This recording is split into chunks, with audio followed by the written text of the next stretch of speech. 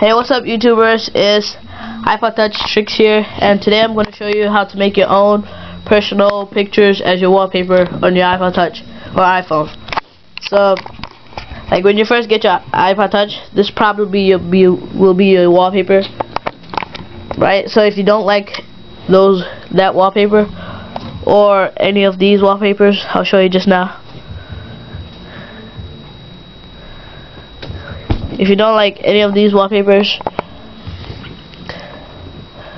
like all these ones, and you want to make your own personal pictures of yourself, so um, what you're gonna do is that you're gonna go to photos, and then you're gonna go to um, your own photos. Like I have a column of my friends and my wallpapers, so I'm just gonna make one wallpaper of my friends. These are all my friends right here, and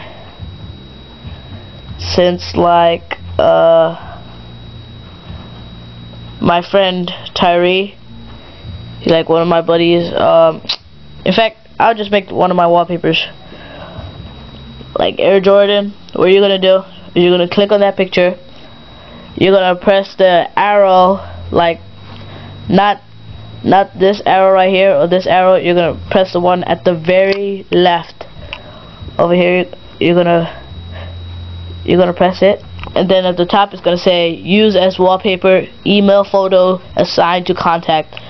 What you're gonna do is you're gonna press use as wallpaper and you can set it you can set it to be like this or like this or to the left or to the right or to the left or at the top or at the bottom. I'm just gonna keep it like large like that like that and when you're done you're gonna press set wallpaper.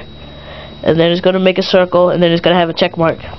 So you go back press the power button and then press it again. And then it'll be right there. And comment subscribe and thanks for watching